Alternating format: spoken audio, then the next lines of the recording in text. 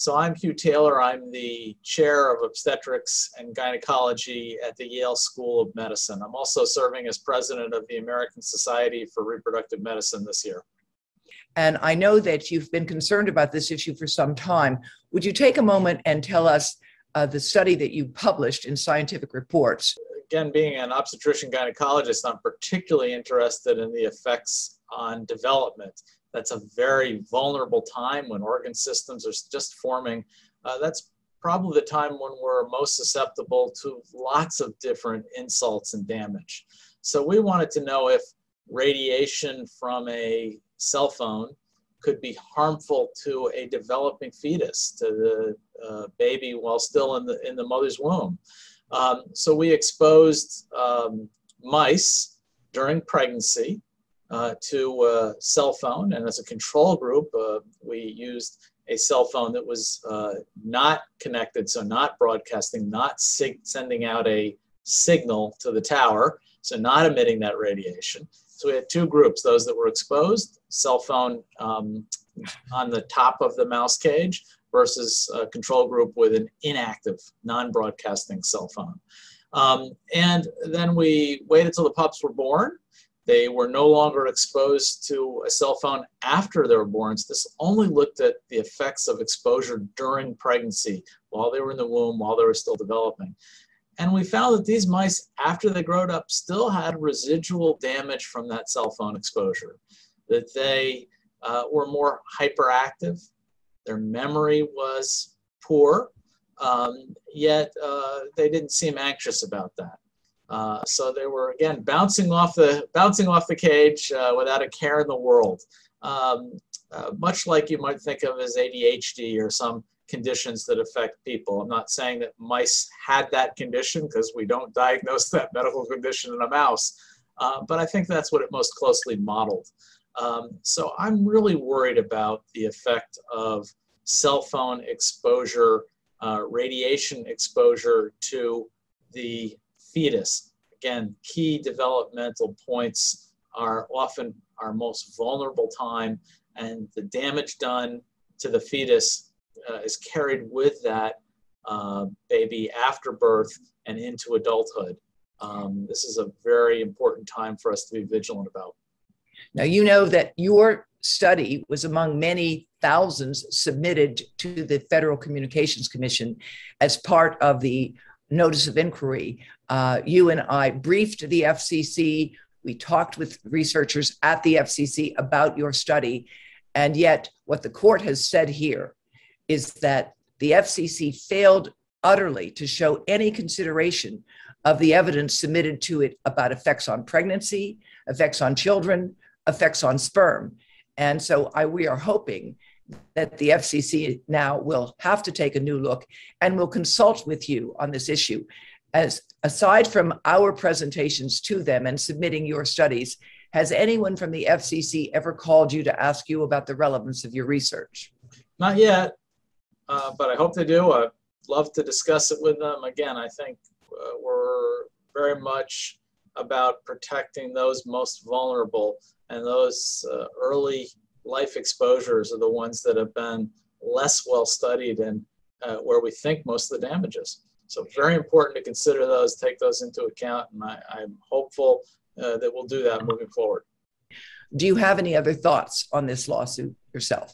Uh, you know, I think we can't wait for this to work through the courts and through uh, rethinking these uh, federal regulatory processes. I think we need to act now. And if I were a um, someone considering pregnancy or someone who is pregnant or a mother of a young child, I think it's just important to move that cell phone away from you and not be exposed to that radiation any more than possible. Uh, you know, uh, not that we would give up using a cell phone entirely, uh, but uh, certainly don't leave it on constantly on your side or near your abdomen when you're pregnant. Just move it across the room. The radiation dissipates fairly quickly with distance from uh, your body. So just uh, moving it to the other side of the room is a wise idea when you're pregnant. Don't wait for this to be worked out uh, publicly.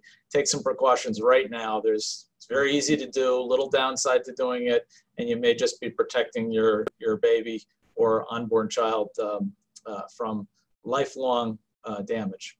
As, as you and I both know, um, lead is an example of a neurotoxin where, when exposures occur very early, uh, whether, whether during pregnancy or in the first two years of life, it has a permanent effect on the capacity of the child who's exposed to lead to function later on in life. Uh, one of the things that I think is so fascinating that few people appreciate is that very early in human pregnancy, there's just a few cells at the tip of it that develop that become the brain and the brain grows spectacularly during pregnancy and continues to grow in the first two years of life so what is so fascinating about your work is that you demonstrated behavioral effects of cell phone radiation. We've talked a little bit about the work of other researchers that have shown effects on the hippocampus, uh, so that there's a physiological foundation uh, for, for what you've established. Because what they have shown is that prenatally exposed animals then subsequently develop literally smaller hippocampus. Have you been able to do any follow up studies to these? Well, it's nice to see that a lot of the work that we've done has been confirmed in other ways, looking at other areas of the brain or other other types of uh, outcomes. So it's nice to see the consensus there, and it's nice to see this confirmed in humans in the epidemiologic literature, where although you don't uh, intentionally expose humans to something harmful, there are plenty of now data that correlate high cell phone use with these types of conditions like ADHD in the children. Um, so uh, we have uh, done a little bit of follow-up of this, although it's not our main focus of research anymore. Uh, but we did look at exposure to um, uh, newborns um, and found less of an effect. Uh, important that there was a dose responsive effect. So the lower amounts of cell phone exposure, the shorter duration, uh, the less damage that was done. So cutting back really can make a difference. Uh, but also the newborns uh, were less susceptible to this effect uh, than the fetus. So pregnancy is really the window that's most important to us, and that uh, has not been published yet, but our subsequent work on the newborn um, was uh, less dramatic than the fetus. So you're working with mice when you talk about newborns. Correct. But I say, but I would say that with humans, we have something different because we know that babies have thinner skulls with more fluid in them. So, in fact, babies, infants, and toddlers many of whom are being given cell phones to calm them down, are in fact sub- subject to great vulnerability, whether it's to lead or potentially cell phone radiation. So let me ask you uh, that what do you see as a possibility for your organization now that you're the president to provide more advice um, with the Baby Safe Project and others, which you are a leader of?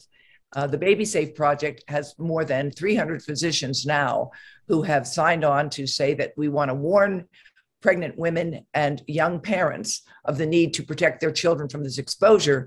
And as you know, the American Academy of Pediatrics recommends minimizing exposures, particularly to very young children, and reducing screen time. This is really challenging given the pandemic situation that yeah. found so many young children in front of screens. So, how do you see this your organization moving ahead on this matter? Absolutely. Well, my organization in particular is more interested in pregnancy. We're, we're a fertility organization, so rather than a pediatric organization. But I would agree that there are certainly concerns for children as well.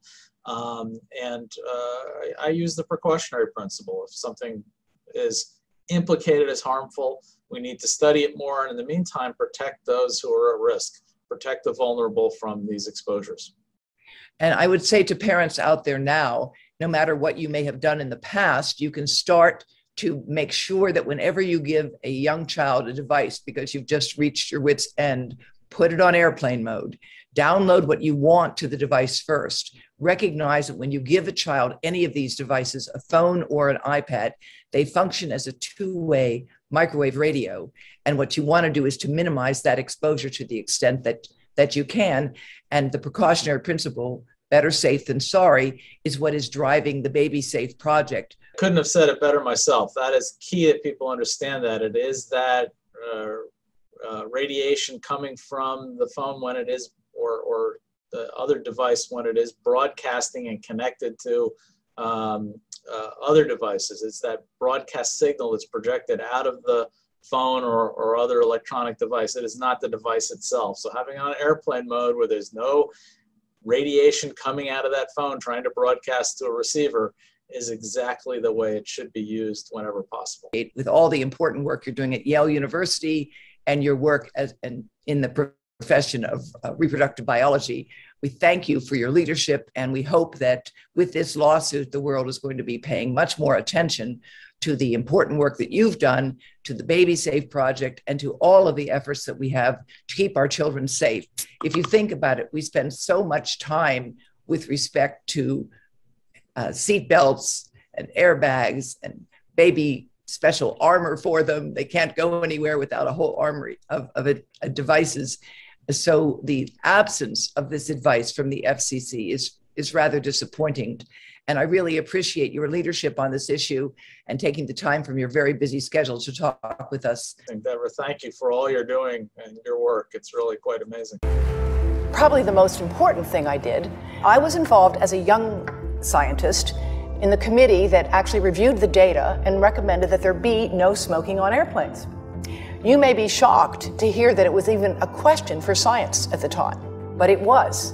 And when I look at what we know now about mobile phone radiation, I see some very interesting similarities. A growing number of prominent doctors and scientists are raising warning flags over radiation this morning, and your kids could be facing a greater risk of exposure. I think the most important study is a study by the National Toxicology Program in a classic large carcinogenicity test, one of the largest ever performed, and for that matter, one of the most expensive, they found increased risk of the tumours which we believe radiofrequency radiation is causing in man. Uh, particular tumours called schwannomas. In the rats, they were in the heart. In, in humans, they're often in the nerve the ear nerve, the vestibular nerve. Cell phone providers say they follow all safety guidelines put into place by the FCC. The current FCC safety standard was developed nearly 20 years ago. The, the manufacturers actually tell people in the instruction manual, which I've never read, to put not to put the cell phone against your ear. It does say exactly that. There's a, the BlackBerry, for example, warns to keep your phone at least 0.98 inches away from the body when transmitting. With, uh, with an iPhone, for example, it's 5 eighths of an inch. At this point, the evidence has become sufficiently strong that cell phone radiation is a human carcinogen a major development from California's Department of Public Health. High use of cell phones may be linked to certain types of cancer and other health effects, including brain cancer and tumors, lower sperm counts, headaches, and effects on learning, memory, hearing, behavior, and sleep. If it was a real problem, I would know. If it was a real problem, the government would protect us. How come I'm not hearing about this? They're all things I've heard when I give seminars. You know, I get up there and they say, oh, yeah, if this was really a problem, they would have told us. I am they. I am a, you know, legitimate scientist, and I am telling you.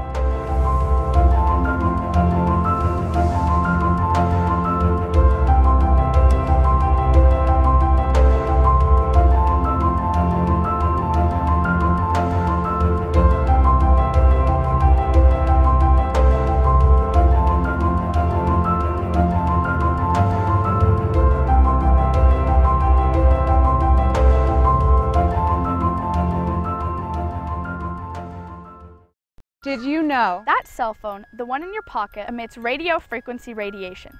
As long as your phone's turned on, even if you're not talking or texting. The American Academy of Pediatrics in over a dozen countries recommends reducing children's exposure to wireless radiation. When using a cell phone, I always keep it away from my body. I use speakerphone or a headset like this. To stop microwave exposure, I put my phone on airplane mode and turn off Wi-Fi and Bluetooth function. I hold the phone at a distance and make sure it's not touching my body. Cell phones are not toys. Children's brains and bodies are still developing and are vulnerable to wireless radiation. Practice safe and responsible habits with yourself and your children. When using the computer, I always try to make sure my connection is corded, not wireless. Remember not to use your cell phone in the car. The phone works at higher power in metal surroundings and bounces around, increasing your family's radiation exposure. For their safety.